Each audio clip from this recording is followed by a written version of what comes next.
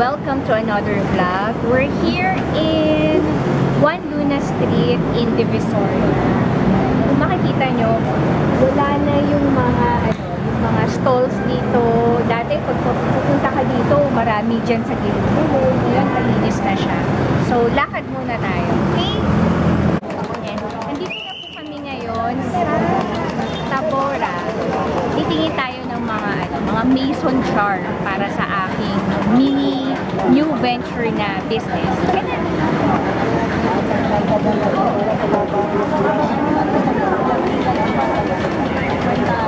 Ayan. Okay, we're back again. Ah, nandito po kami sa Tabora Street. Dito, halo-halo. May pang kitchen, may pang Christmas decors, tapos dun mga souvenirs. So, check nyo na.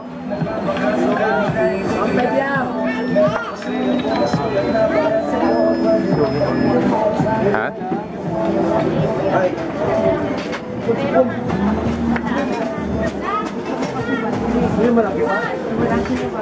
Meron sila yung pang dream na Legal, ma'am. Ito,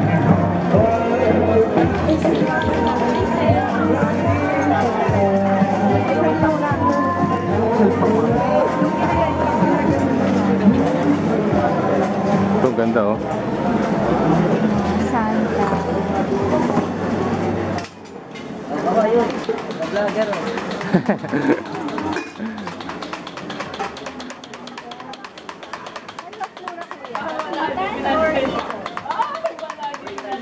Ma'am, nakakaya naman sa'yo pero pag sinabi namin sa amin, dahil ano, di ba?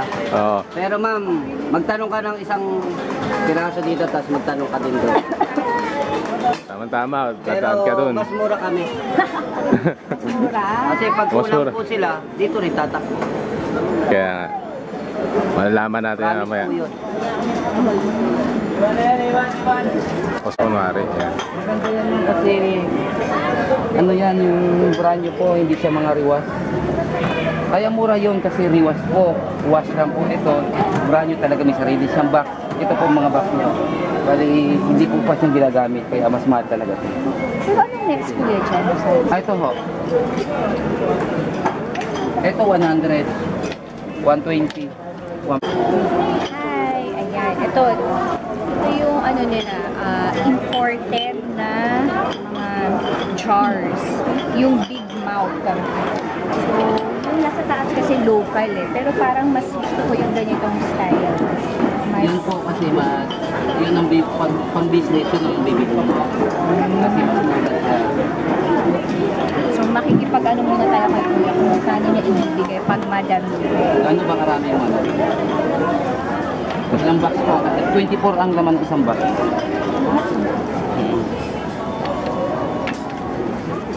Hi! We're back sa vlog. Nandito po tayo ngayon sa Dapitan Arcade. Titingin tayo ng mga Christmas decors and kung merong mga home decors, titingin din po tayo. Look at it! Ganda ng mga ano, decor oh. Really good.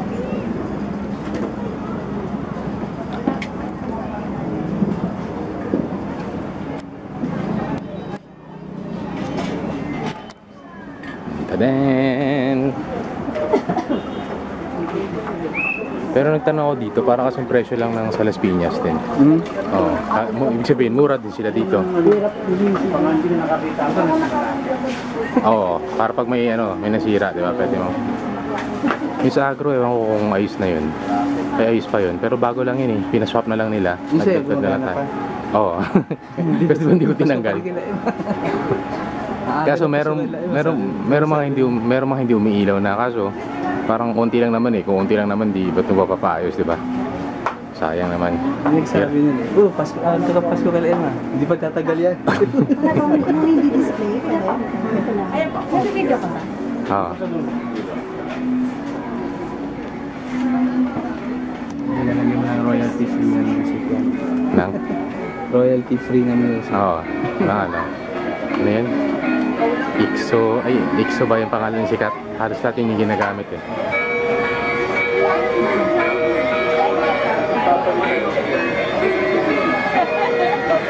pa yun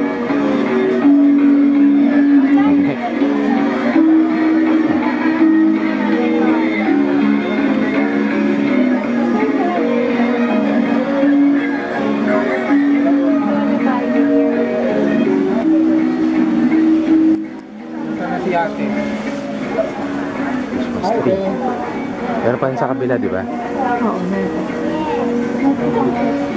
Isa lang eh.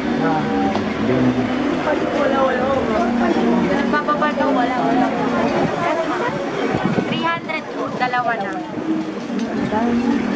Pero kilo, no?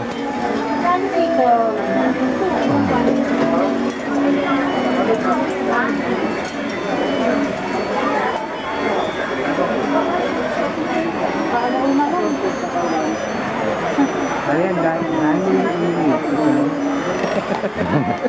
Dangling earrings.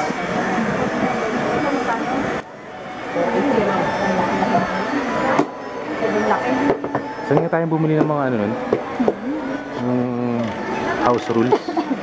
Sa labas yun, di ba? Oh, wala na eh. Dito sa Ang ganda oh. Parang, parang dumami sila. Ha?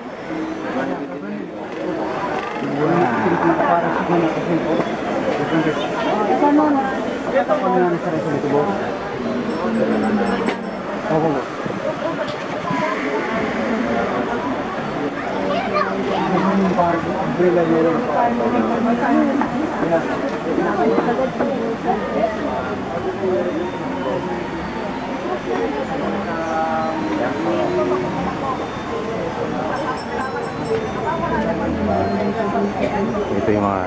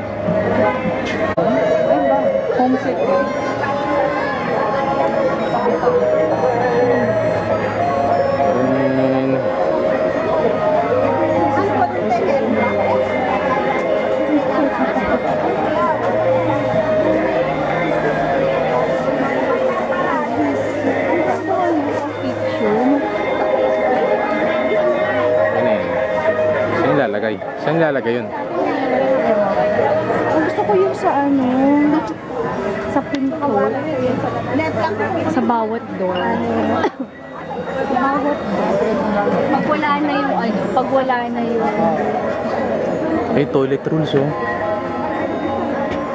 Saan lalagay? Toilet. Saan doon? Sa loob? Parang ano yun. Alam mong gagamit kung para saan. Bathroom rules. Di ba? Ano mo, magkano an? Lagi tayo. Which one? Maliit lang? Hmm, may isa baka unti lang difference. Magkano po dito? Ito po. 150 tsaka 200.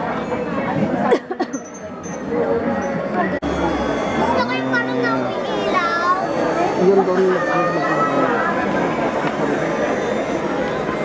Bakit ko ano? Di ba po kailangan doon kami? Oo, bakit ko na.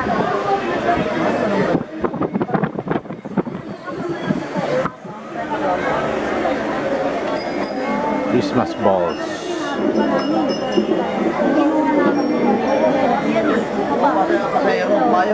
Yes, ma'am.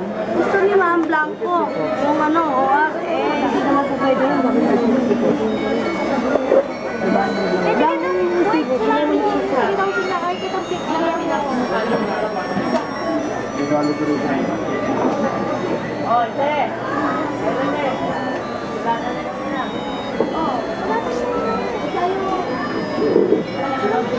dati niya, launglaan lang, straight direction. Oo. Nadari na dati. Long lang, tatawid ka ng lakson. Yung dating natawag doon. Wala kami dito ano, napakadating sa loob. Wala na, dire direction.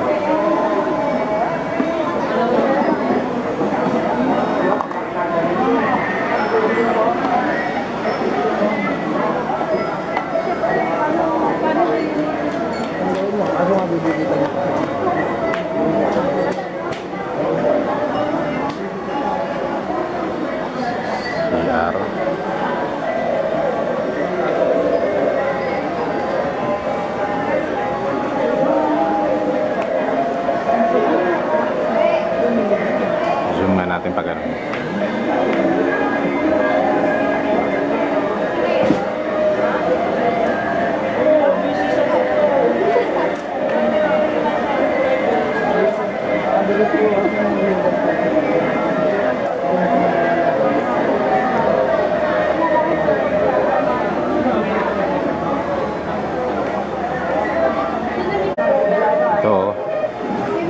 Christmas white, white Christmas store.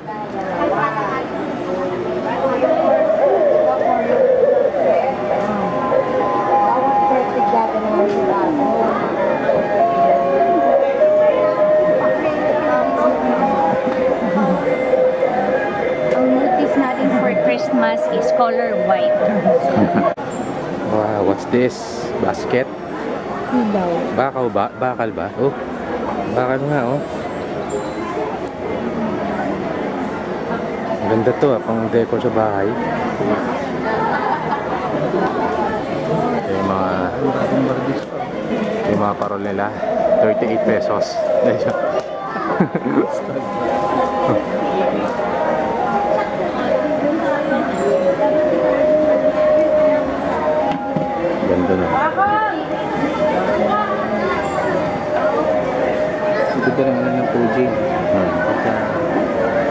makulay. 720p lang to.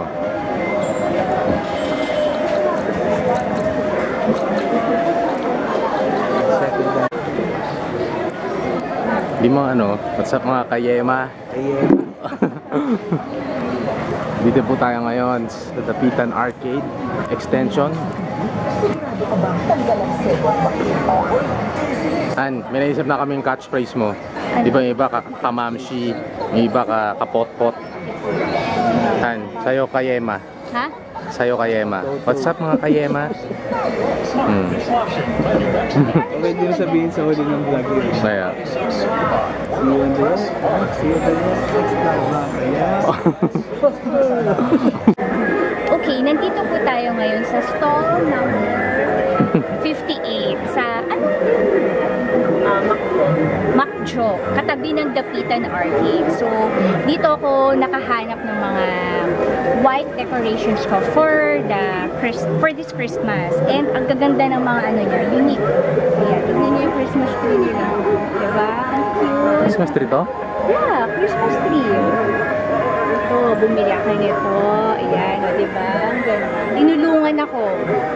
Tinulungan niya ako mag, ano, mag-design. Actually, hindi pala tinulungan. Siya na nag-design sa Christmas tree.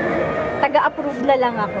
So, mamaya papakita ko sa hall yung ano, yung mga napamili ko dito. So, punta lang kayo dito. For sure, ano, ang laki ng matitipid nyo compared to SM. Kasi sa SM, ang isang flower, nasa 300 to 350. So, kung ilang pirasong ano yun, flower, wala na.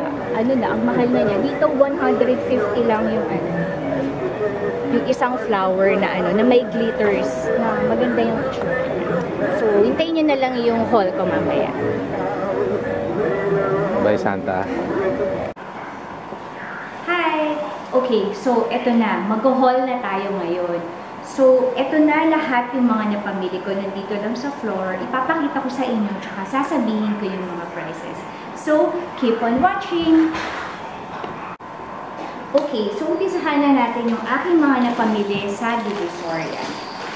So, random na lang ha, pero by set naman siya.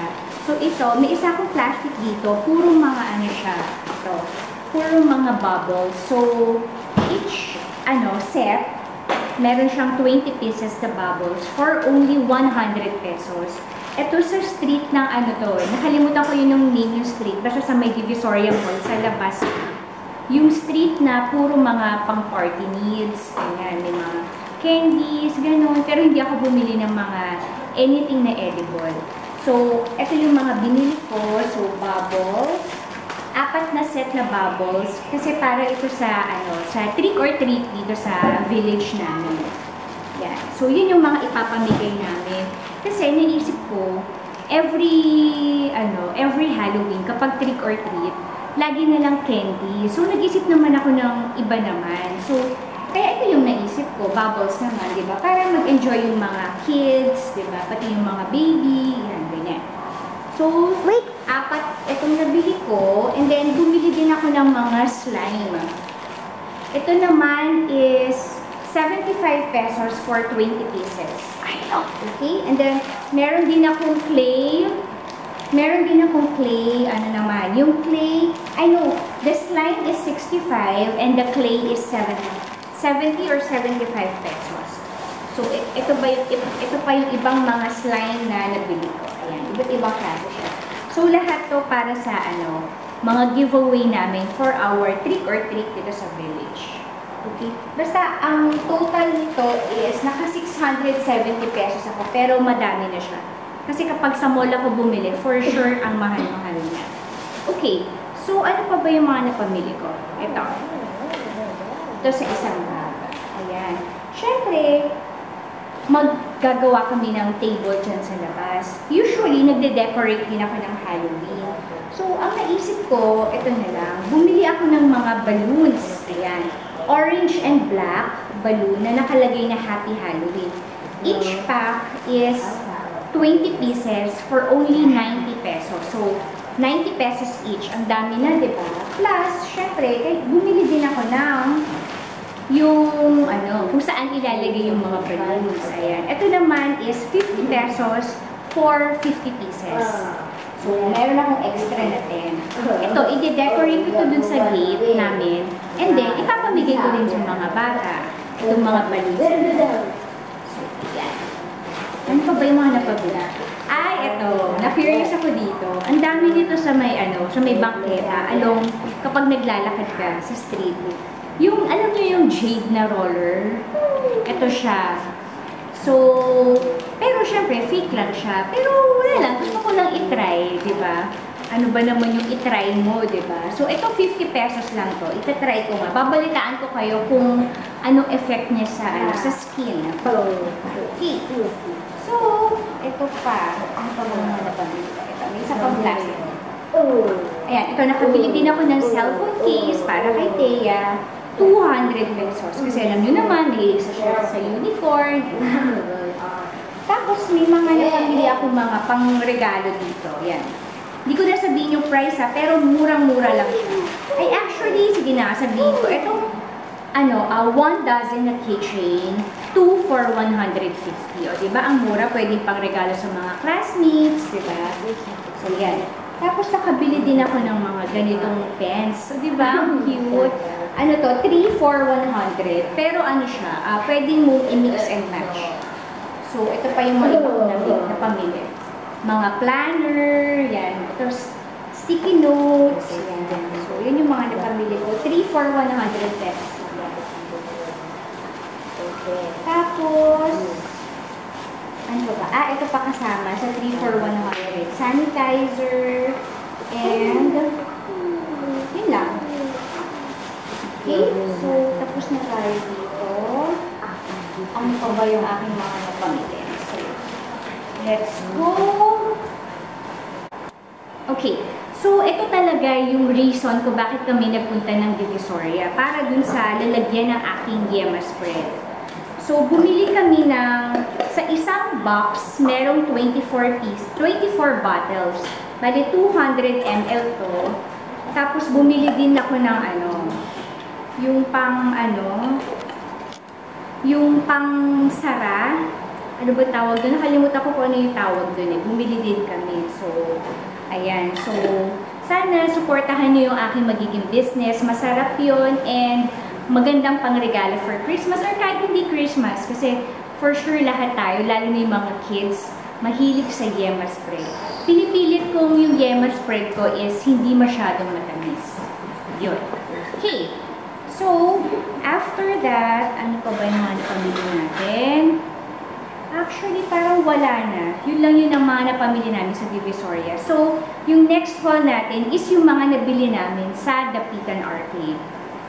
For sure, napanood nyo kanina yung vlog ko sa Dapitan. Ito na siya. Kaya naman kami nagpunta sa Dapitan Arcade. Doon talaga kami namimili ng mga Christmas decors. Kasi pag sa SM ka bumili, mahal talaga siya. Pati yung service nila ng paggawa ng Christmas tree, ang mahal-mahal. So ito, sa Dapitan, parang makaka-discount ka ng at least 50% dun sa price. Tapos, ikot-ikot muna kami doon, ganyan. So, hindi ako makapili ng ano, ng gusto ko talaga. Pero, meron na akong in mind ko, ah, naisip ko na kung ano yung gusto kong motif. Gusto ko color white. So, nakakita ko doon ng isang store na puro white, pero mahal, tsaka hindi ko masyadong gusto yung design. Tapos, meron akong binabalikan na store lagi. Kaso kasi may tao, may ina-assist pa si ano doon, si si ano bang matatawag sa kanya, si ate girl na lang tatawag sa kanya. Meron siyang ina-assist. So, bumalik na lang ako ulit after para gusto ko yung ako lang yung i-assist. Tapos, tinulungan niya ako kasi nagustuhan ko yung ano nila, yung Christmas tree nila, may decorations na. Parang gusto kong gayahin, pero mas simpleng, ano, simpleng version. Sabi ko sa kanya, uy, tulungan mo naman ako, ano, tulungan mo naman ako dun sa Christmas tree namin, mag, mag-decorate. Bale, lahat sa'yo ko na bibilin. Tulo, mag-suggest ka na lang kasi ikaw yung mas, ano eh, mas may alam ng mga, ano, kung anong bagay, di ba? Tsaka, siya yung mas nakakaalam ng mga items nila. So, ang una kong nakita talaga doon, ito rin yung binibili ng unang, ano, nung unang bumibili doon. Ito talaga yung nakaano sa akin. Ayan. O, di ba? Cute. Ang, di pala cute. Ang elegant niya.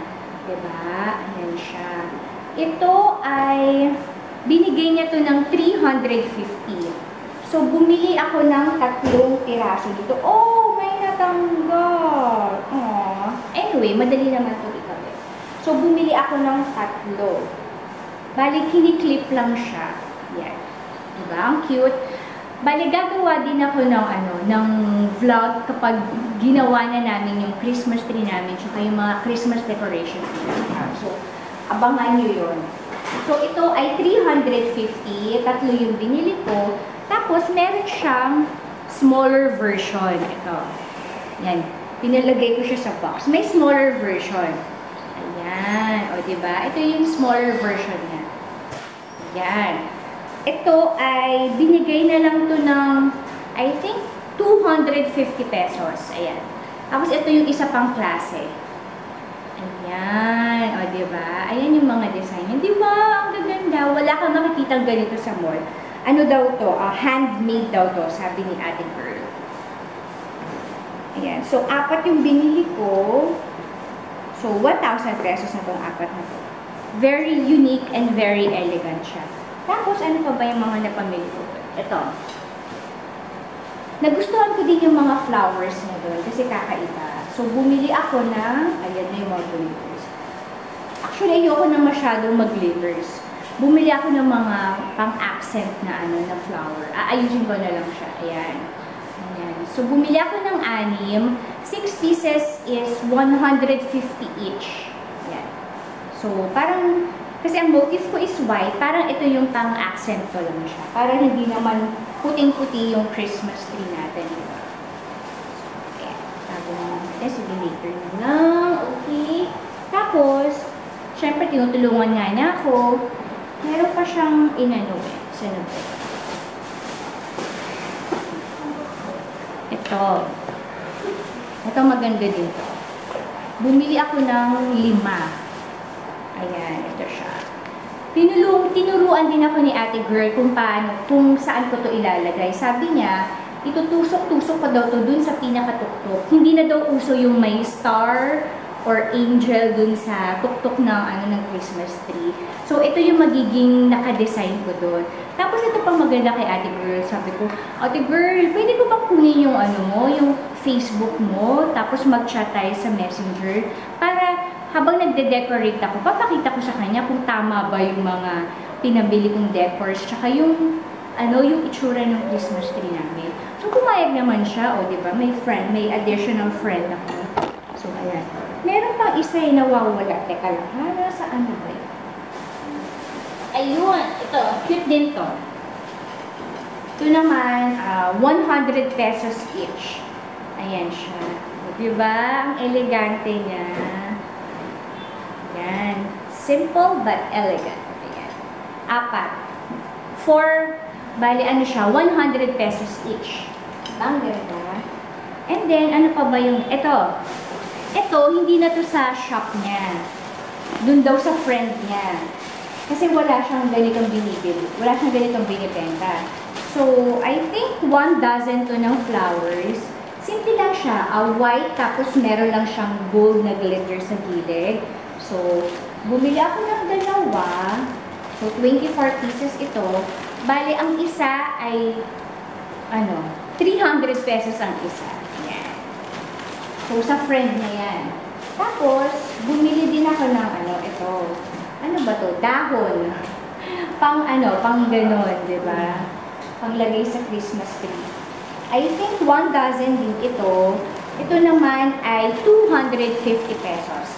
Yan. So, one dozen, bumili din ako ng dalawa. Yan. So, ito, sa ibang store to, pero siya ang kumuha at siya din yung pumili. Di ba? Napaka-helpful niya. Kasi ayoko na yung sa iba-ibang store, iba-ibang stall pumili. Kasi, ano eh, parang ang gulo, tapos ang init. So sabi ko, sa kanya lang ako bibili lahat. Pero tulungan niya akong mag-isip, tsaka mag-decide. So ano pa bang mga napamili ko? I think that's it for the haul. So abangan niyo yung next vlog ko kung paano mag-decorate ng Christmas tree at mag-decorate ng buong bahay for Christmas. Okay? So, don't forget to like and subscribe to our channel and abangan nyo pa yung iba, pa- iba pa naming mga vlogs. Bye!